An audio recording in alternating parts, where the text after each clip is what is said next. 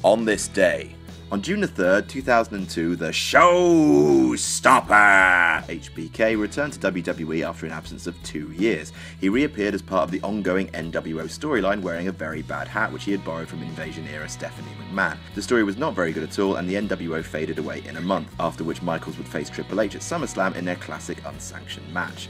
Also on this day in 2004, TNA taped their very first ever episode of Impact. In the previous two years, they'd done weekly pay per views on Wednesdays, which was pretty bold. The first episode of Impact also saw the debut of the six sided ring, and the main event was Chris Sabin versus Primetime versus Michael Shane versus AJ Styles for a shot at the X Division title. It was won by AJ Styles. That's all for now. Check back tomorrow to find out what happened in wrestling on this day.